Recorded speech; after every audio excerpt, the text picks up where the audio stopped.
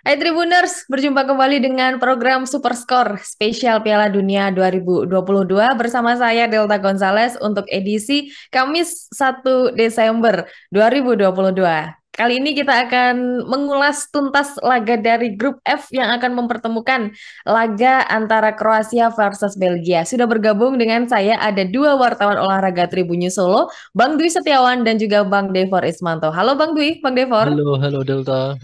Uh, Ya, ini laga grup F ini cukup seru karena berisi ya timnas-timnas um, uh, yang cukup besar, ada pula timnas-timnas yang bisa kita pandang sebelah mata awalnya, tapi juga malah membuat kejutan. ya oke, okay. kali ini akan membahas Kroasia versus Belgia ya. Bang Dwi, Kroasia tampil tidak optimal di laga awal, ditahan imbang oleh Maroko yang saya bilang tadi mengejutkan. Nah, lantas juga menang besar di laga kedua. Nah, seperti apa ini pengamatan dari Bang Dwi penampilan Kroasia?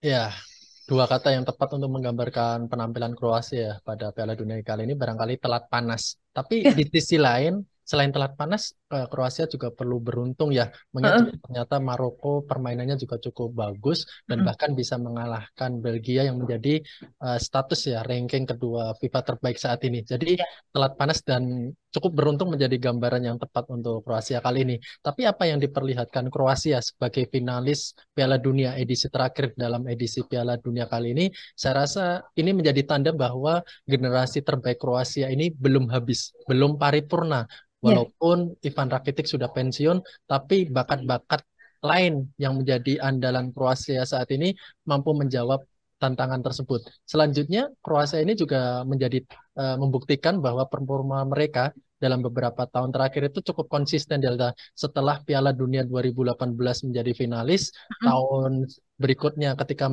berpartisipasi dalam Euro, Kroasia ini kan, kan hanya kalah di 16 besar melawan Spanyol lewat adu penalti. Tapi di UEFA Nation League edisi terakhir kemarin bisa melewati Denmark dan Prancis untuk bisa menyegel tiket semifinal di UEFA Nation League. Dari catatan dan capaian itu saya merasa Kroasia hanya telat panas saja dan siap untuk menghadapi Belgia dengan skuad bintangnya. Iya, uh, mestinya telat panas, uh, imbang di laga pertama, lalu menang besar. Ini uh, poin tersendiri karena memiliki surplus gol yang cukup banyak. Ini 4-1 saat mengalahkan Kanada di match kedua itu untuk Kroasia. Nah, lantas Bang Devor ini kalau Kroasia memang menjadi finalis ya maupun runner up di Piala Dunia 2018.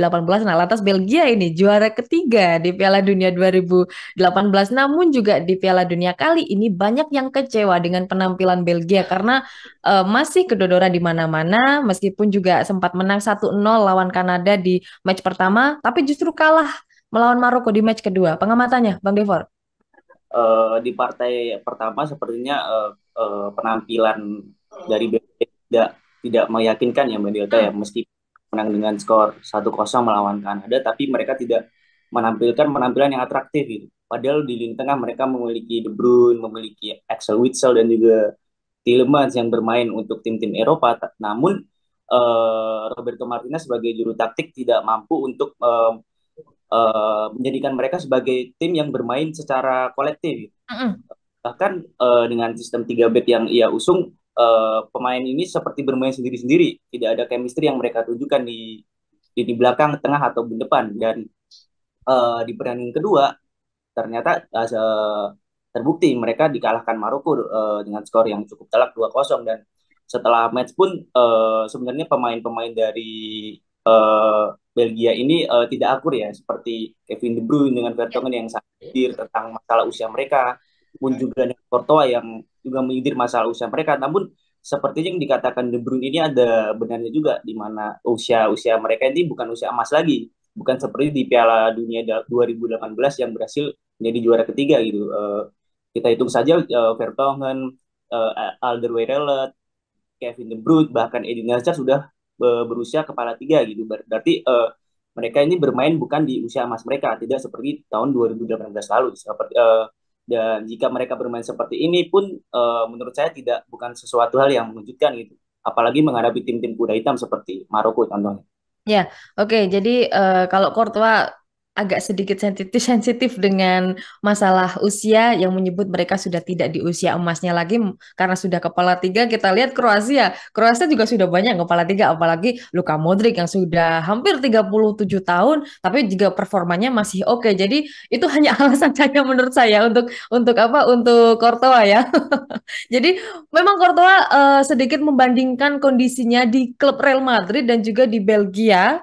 Banyak juga yang uh, pokoknya kondisinya sangat berbeda sekali. Yang namanya sebuah timnas menang maupun sebuah klub menang memang tidak selamanya itu kesalahan dari kiper, tapi juga harus dibenahi bagaimana lini depannya, bagaimana eh, lini pertahanannya. Seperti itu ya dari Bang Devor ya.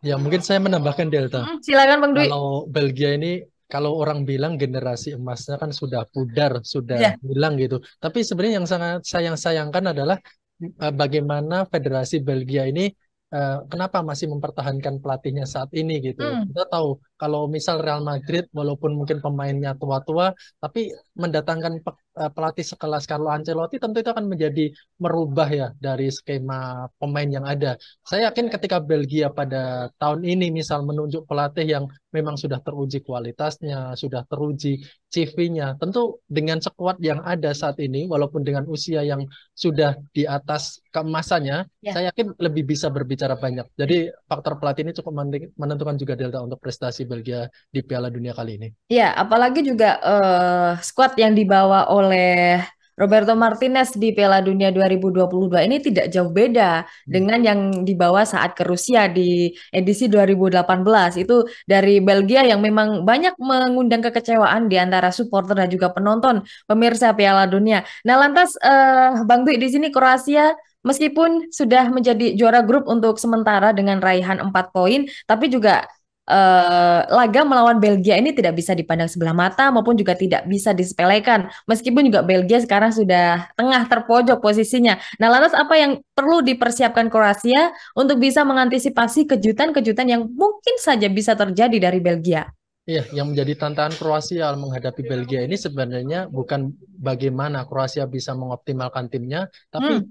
tentang bagaimana Kroasia bisa memanfaatkan kondisi eksternal lawannya. Karena hmm. kita tahu tadi udah dibahas bahwa Belgia ini ruang gantinya sedang tidak akur, hmm. sedang bermasalah, sedang kurang harmonis. Tentu itu menjadi sebuah celah yang bisa dimanfaatkan oleh Kroasia untuk bisa memperparah luka dari Belgia di Piala Dunia kali ini. Selain hmm. itu Delta berdasarkan catatan saya Belgia itu sudah kalah tujuh kali dari 19 laga terakhir di hmm. semua kompetisi. Nah, itu kan menjadi sebuah tanda bahwa memang inkonsistensi sudah mendera timnas Belgia dan status sebagai juara uh, peringkat kedua terbaik dunia FIFA itu seakan tidak berbekas. Jadi hmm, ya.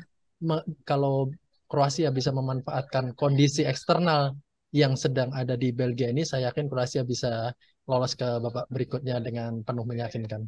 Ya, sangat meyakinkan untuk Kroasia bisa lolos lawan Belgia ini. Sementara itu, Bang Devor, Belgia terdampar di peringkat ketiga ya, meskipun sudah mengemas tiga poin di sini. Nah, eh, tadi sudah disebutkan Bang Devor eh, kalau uh, dari uh, beberapa pemain terlibat mungkin saling sindir ataupun juga dalam permainan tidak kolektif, tidak ada chemistry bahkan ini sangat menjadi penyakit permainan ini sampai-sampai pemainnya tidak ada chemistry dan juga ruang ganti dengan kondisinya sangat panas. Nah, uh, akankah berpengaruh besar terhadap permainan Belgia atau justru peluang lolos 16 besar sudah sangat tertutup di sini?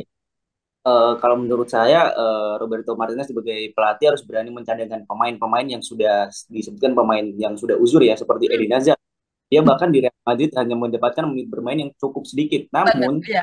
dunia kali ini dua pertandingan dia tampil starter dan itu pun dia tidak menunjukkan kualitasnya seperti empat tahun yang lalu. Dan juga uh, di lini belakang pun juga uh, Jan Vertonghen bukan seperti empat tahun lalu pun juga Alderweireld yang walaupun uh, secara postur dia masih tinggi besar namun secara kualitas dia hanya bermain uh, sudah terlempar dari klub-klub top Eropa. Jadi mm. kalau uh, Roberto Martinez masih ingin memasang dua pemain tersebut ya kita saksikan Kroasia pasti bakal mengubah April walaupun dengan Luka Modric yang sudah 37 tahun tapi dia berhasil tampil konsisten itu. Perbedaan uh, Kroasia dengan Belgia pun itu uh, secara umur mungkin uh, Kroasia masih mengandalkan Modric, masih mengandalkan Brozovic yang sudah berusia 30 tahun ke atas. Namun mereka masih bermain untuk tim-tim kelas Eropa, sedangkan Belgia itu uh, berbanding terbalik. Mereka uh, seperti nama-nama yang saya sebutkan tadi sudah terlempar. Bahkan Eden Hazard pun juga tidak masuk ke dalam skuad inti Real Madrid.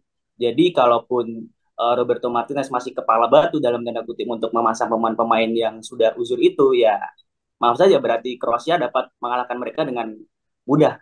Ya, Tentunya ya. Oke, dan uh, saya lihat kemarin di headline berita pun KDB ngomong kalau ah, usia kita tuh udah segini. Jadi kelihatan tidak mungkin kalau kita akan menjuarai Piala Dunia untuk edisi kali ini. Terlihat sangat pasrah sekali. Nah, kalau dari pengamatan Bang Dwi maupun Bang Devor ini kita lihat KDB bagaimana uh, besarnya dikdayanya dia di Manchester City tapi justru dia agak melempem di timnas. Kalau kita lihat uh, eh, KDB seakan-akan bingung akan ngasih ke siapa ini uh, ke Batshuayi maupun ke Hazard yang tadi juga uh, penampilan Hazard cukup me, uh, cukup kurang meyakinkan.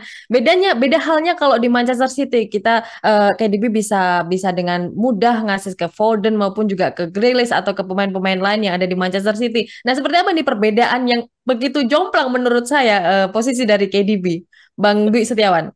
Ya, kalau mengkomparis mengkomparasikan ya uh, keberadaan KDB di Manchester City dan Belgia seakan-akan untuk Belgia saat ini memang jauh berbeda. Beda kalau kita komparasikan antara uh, Belgia di tahun 2018 dengan Manchester City sekarang tentu itu akan menjadi sebuah hal yang berbeda. Hmm. Benar tadi bahwasanya eh, salah satu hal yang membuat KDB bingung di Belgia ini memang ke mana ini arah bola yang ingin ya. aku berikan umpan-umpan ajaib dan sentuhan ajaib itu seakan-akan tidak keluar karena memang uh, target man-nya kan juga tidak sebaik di uh, Manchester City daya dukung di lini tengahnya juga tidak sebaik di Manchester City tentu secara sistem permainan juga berbeda dari Roberto Martinez hal itu akhirnya membuat KDB seakan-akan menjadi ya single factor di lini tengah dan ketika ingin menciptakan peluang ya tergantung penyerangnya apakah bisa klinis seperti keklinisan Halan dalam memanfaatkan setiap peluang KDB di Manchester City. Ya, sayang sekali Halan tidak lolos kali ini timnasnya di Piala Dunia edisi 2022. Lantas Bang Devor, uh, kalau kita lihat ya KDB mungkin sama-sama garangnya di timnas maupun di City, tapi finishingnya dari lini depan uh, di timnas agak sedikit kurang meyakinkan. Nah, seperti apa di pengamatan uh, untuk KDB sendiri? Uh, seperti yang dikatakan Mas Dwi, terdapat uh, perbedaan sistem ya permainannya. Kalau di Manchester City uh, Pep Guardiola bermain dengan 4-3-3-nya sedangkan bersama uh, timnas Belgia uh, mereka bermain dengan sistem 3-4-3 dan KDB tidak bermain uh, sebagai pemain nomor 10 ataupun playmaker. Dia uh, bermain bersama Hazard, Batshuayi di lini depan di trio lini depan walaupun uh, Kevin De Bruyne lebih menjemput bola tetapi sistem permainan uh, yang tidak mengandalkan ball position ini berpengaruh terhadap uh, kreativitas De Bruyne yang selama ini kita kenal. Hmm. Uh, jika di Manchester City dia dapat dilayani oleh Rod, uh, Rodri ataupun Bernardo Silva, tapi dia dilayani oleh dua pema, uh, dua gelandang tipikal box to box yang menurut saya uh, lebih cenderung keberadaan yaitu Axel Witsel dan Tielemans ya, dan duanya ini tidak mampu menopang uh, KDB secara sempurna di Manchester City pun walaupun KDB uh, sebagai contoh saat uh, bermain melawan Kanada di match pertama KDB sudah mengerahkan seluruh tenaganya uh, dalam kandang itu. Namun seperti kita tahu Batshuayi uh, striker uh, kalau nggak salah dia udah bermain di Liga Turki. Uh, finishingnya kita lihat uh, kontrolnya, finishingnya bahkan uh, dia uh, menjadi kartu mati di lini depan walaupun berhasil mencetak gol. Dan Kevin De Bruyne uh, dengan keluhannya selama ini bersama timnas Belgia pasti uh, itu menjadi hal yang sangat wajar ya jadi kalaupun uh, Belgia berharap untuk dapat digendong oleh Kevin De Bruyne, nampaknya akan sulit, Delta. Ya, yeah. akan sulit dan juga jadi PR tersendiri buat Roberto Martinez ya supaya tidak kolot, nah untuk bisa mengubah taktik serangan agar bisa lebih luas dan bisa melancarkan Belgia untuk Delta, lolos ke 16 besar. Silakan, Bang Dwi. Ya, kalau uh, De Bruyne sekarang kelihatan bingung di Belgia, sebenarnya ibaratnya kalau di Piala Dunia ini dia salah tim. Salah tim justru. Iya. Kalau, kalau Harus ke tim ya, mana ini? Nah, kalau cocok sebenarnya tim Inggris itu akan sangat sangat okay. menunjang karena dengan sistemnya, dengan komposisi pemainnya dan striker sekelas Harry Kane tentu timnas Inggris bisa berjaya kalau ada Kevin De Bruyne pada. Nah, ini sepertinya semua penyerang uh, uh, apa ya impiannya bisa dimanjakan oleh umpan-umpan dari KDB ya. dan termasuk Inggris paling cocok. Ya, apalagi juga main di tim main di uh, Manchester City sudah banyak pemain pemain-pemain Inggris yang kenal dengan KDB maupun juga chemistry-nya mereka sudah cocok ini kalau di timnas Inggris ya. Saya setuju dengan Bang Du ini ya. Oke, okay, uh, Kroasia versus Belgia cukup sulit untuk bisa menang besar di sini uh, antara dua timnas. Prediksi skornya seperti apa ini Bang Devor? Uh, kalau uh, Roberto Martinez masih kepala batu untuk memakai pemain-pemain yang seperti di, di dua laga sebelumnya, uh, Kroasia prediksi bakal menang mudah dengan uh, dua digit gol mungkin dua kosong ataupun tiga satu dua kosong maupun tiga satu untuk Kroasia ya. Ya, oke. Okay. Bang Dwi, gimana nih? Ya, karena kondisi internal yang runyam dari Belgia, saya yakin Kroasia bisa memanfaatkan dengan baik. Apalagi penyerangnya kan Kramaric kemarin mencetak brace. Saya yakin mm. dengan kepercayaan diri tinggi itu bisa mengantarkan Kroasia bisa menang 2-1 pada laga kali ini dua satu tipis ya, tapi tidak apa-apa. Uh, jadi Belgia uh, akan siap-siap pulang kalau benar-benar kalah dari Maroko, tapi kita juga harus menunggu uh, laga lainnya di grup F yang mempertemukan antara Kanada dan Maroko. Nah, ini akan sangat seru sekali seperti ending seperti apa hasil endingnya ya. Oke, terima kasih untuk Bang Dwi dan juga Bang Devor atas ulasannya Kroasia versus Belgia. Sampai jumpa di ulasan berikutnya. Oke, Tribuners jangan lewatkan program Super Score Spesial Piala Dunia 2022 yang akan tayang di YouTube Tribunnews dan juga Facebook Tribunnews. Kami tayang setiap hari selama gelaran Piala Dunia, tepat satu jam sebelum pertandingan. Saya Delta Gonzales pamit undur diri, sampai jumpa di ulasan berikutnya.